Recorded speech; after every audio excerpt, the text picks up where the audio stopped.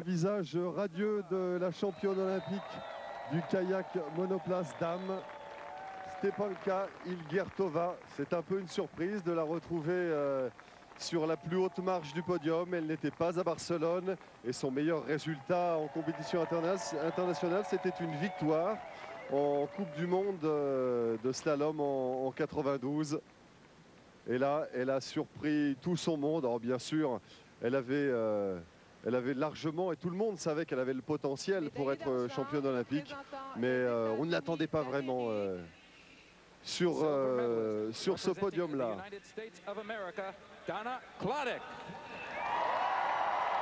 Dana Schladek, l'américaine, naturalisée américaine. En fait, euh, elle est tchèque, elle aussi.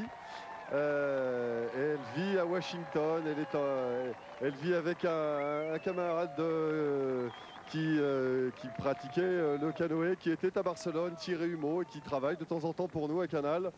Et Dana Schladek, eh bien, c'est sa deuxième médaille olympique à, à Barcelone. Elle avait accroché une troisième place, une médaille de bronze.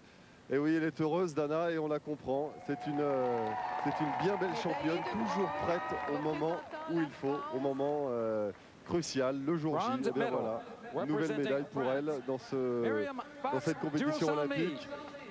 Et notre petite Française, Marianne Fox, la voilà enfin médaillée, médaillée olympique, après euh, sa détresse de Barcelone et une, bien, bien difficile euh, performance à avaler, 21e euh, place. Eh bien la voilà enfin couronnée, enfin récompensée de tous ses efforts, la, double championne du monde. Euh, et, on ne compte même plus les, victoires par équipe. On va écouter l'hymne national tchèque et puis savourer le sourire de ces trois jeunes femmes qui se sont battues comme des petites diablesses sur ce parcours d'Okoi River.